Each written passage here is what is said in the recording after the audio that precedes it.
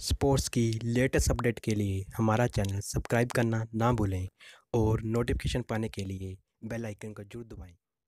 नमस्कार दोस्तों, आईपीएल 2019 के पहले दो हफ्तों का शेड्यूल जारी हो गया है।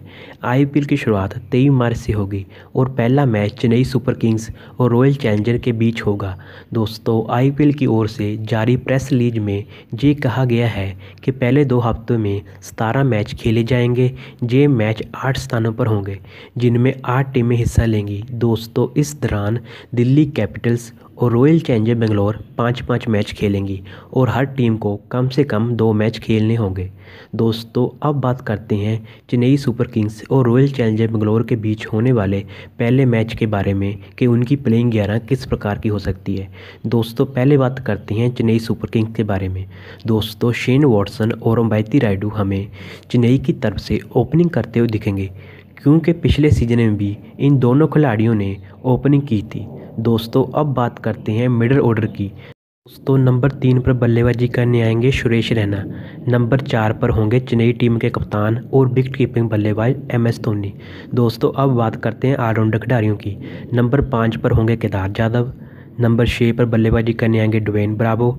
नंबर सात पर होंगे रविंद्र जडेजा।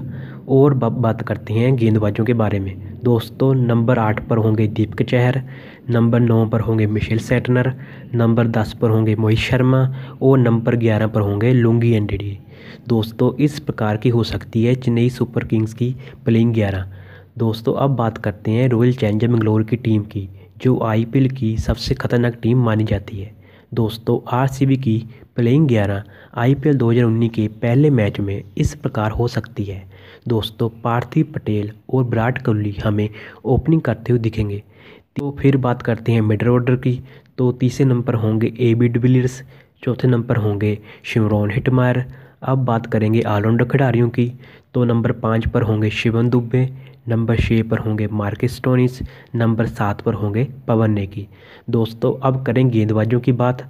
नंबर आठ पर होंगे उमेश यादव नंबर नौ पर होंगे जुजविंदर चैल नंबर दस पर होंगे टीम साउथी और नंबर ग्यारह पर बल्लेबाजी करने आएँगे नवदीप सैनी। तो दोस्तों, इस प्रकार की हो सकती है आईपीएल 2019 में पहले मैच में आरसीबी की प्लेइंग ग्यारह। तो दोस्तों, आप हमें कमेंट करके बताएँ कि इन दोनों टीमों में किसकी प्लेइंग ग्यारह सबसे ज़्यादा खतरनाक दिस रही है और पहला मैच कौन सी टीम जीतेगी?